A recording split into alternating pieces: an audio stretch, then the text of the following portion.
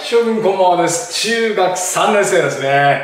さあ、いよいよですね、統一テストが近づいてまいりました。とにかく数学だけでも10点、10点あげましょうね。絶対にあげましょうね。まあ今までの普通だったら、今までの偏差値より落ちちゃいますよ。なぜかみんな頑張ってるから。この夏から頑張るんでしょ？みんな頑張っちゃうんでね。はい。今までと同じ点数やったら下がっちゃうよ。あげる、あげる、あげる。頑張っていきたいと思います。いよいよ、この過去問から3年生の話題がようやくちょっと出てくるようになりました。さあ、なぜか。はい。因数分解と展開です。はい、式の展開見てください。簡単 P ですよね。簡単 P の展開出てます。えー、こいつをちょっと求めましょうね。えー、こいつは、えー、乗法公式で求まっちゃうんですね。えー、足し算、えー、10x ですね。あと掛け算、四六 20c ですね。絶対間違わないよね。3年生の内容は絶対間違わない。えー、頑張ってね、頑張ってね。ほんでね、次ね、因数分解ですよ。因数分解は、これね、共通因数探すんですよ。3と O、Y がいますね。なので、3Y でくくってやってください。そうすると、X と、これ4出てきますね。えー、そして Y の2乗なんで Y が1個いますので、3Y 括弧 X-4Y。まあ、ダメだったんで、一回開けてみて、同じ式が出るかどうか。3XY マイナス 3412Y2 乗出ますよね。大正解。こういうことでございます。はい。で、次で、比例式ですね。リンゴと梨が合わせて28個あるんですよ。で、リンゴと梨の比が4対3なんです、個数が。なので、まずリンゴをですね、x 個にしましょう。すると、合わせて問題ですので、合わせた28個から x を引くと梨なんです。梨の個数は 28-x 個ということが分かりました。これで比例式をね、4対3。リンゴ対梨イコール4対3。これで作ってあげます。リンゴが x 対梨が28マイナス x イコール4対3ってね。あとは内側同士イコール外側同士。えー、内項の積はイコール外項の積ね。あと4括弧28マイナス x がイコール 3x となったと。これはまあ括弧閉じありましたね。まあ慎重にかけてね、4×28 慎重にいきましょうね。えー、28×4 です。四波32、四2が8ですから112。112マイナス 4x がイコール 3x。移行しましょう。マイナス 4x マイナス 3x がイコールマイナス112。マイナス 7x がイコールマイナス112。まあ割れるんですよね、きっとね。なんで x は、えー、71が7。7642 16個ってことがリンゴは分かりました。と梨は28から16引けばいいので12個ということが分かります。はい、えー、リンゴちゃん、えー、16個、えー、そして梨ちゃん、えー、12個という形で分かったわけでありますね。さあそしたら次確率の問題いきましょうね。23456の数が書かれた5枚のカードがありますよ。こう言ってます。1枚目に引いたカード A2 枚目に引いたカード B とすると A も B も共に偶数になるのは何通りあるか。まあこれちょっと通り数だけ聞いてましたね。もう何通りかっていうとこれ偶数だから2と4と6が偶数ですよね。だから最初に2が来てえ次には4か6が来る。これしかないですよね。これで2通り。2426ですね。それから最初に4が来た時に2か6が来るというね偶数偶数ですから4246、えー、それから6が来た時に2か4が来るというねこの6通りですよね、えー、ですので6通りと入れてやってください。それでは A 分の B が整数になる。この2と3はこれね確率だったのでちょっと樹形図を隣にちょっと全部書いてみますので樹形図、えー、ちょっと確認願います。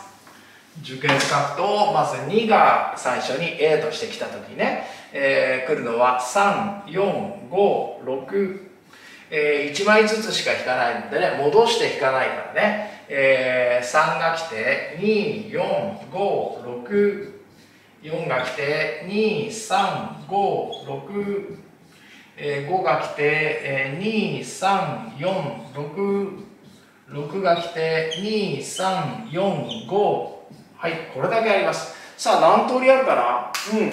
5の山が12345いや違う。4の山が5個ありますよね。5四20 20通りが分母に行きます。さあそこで A 分の B まあ一番最初の最初に来たのを A として次に来たやつを B としましょう。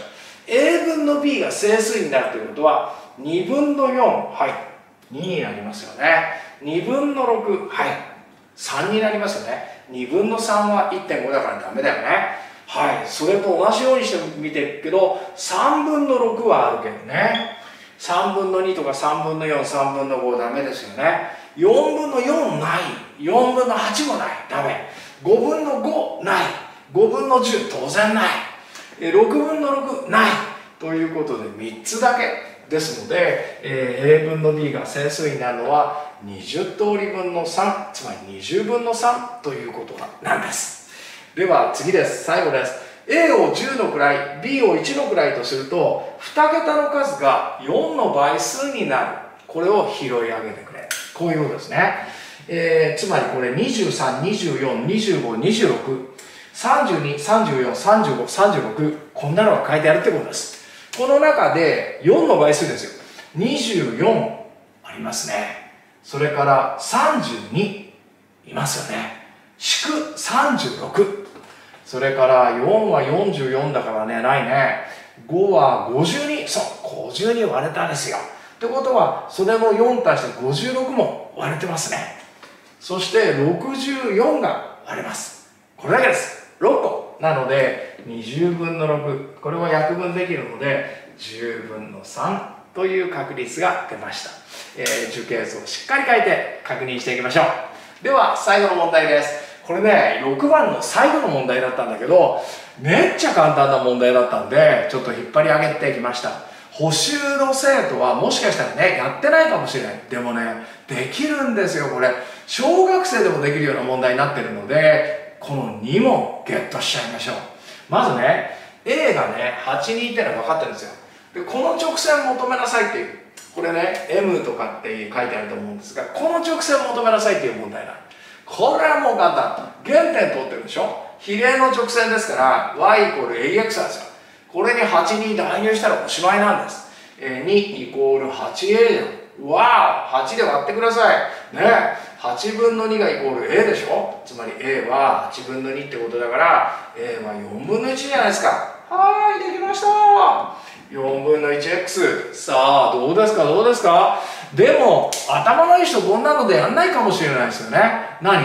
何個いって何個上がる？はいこの傾きだけで求めちゃおうっていう場合があるよね、えー、ですのでこれさ8個いって2個上がってるでしょ？8分の2でじゃないですか。なので y イコール8分の 2x つまり4分の 1x こうやって求めちゃう場合もありますね。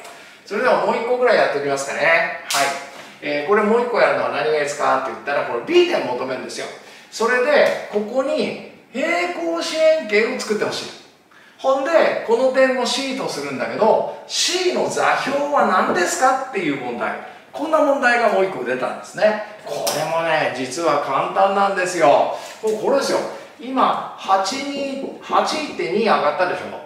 だから B からも平行移動してここが同じ三角形できて8って2上がればいいんですよ、えー、8って2上がればいいんです。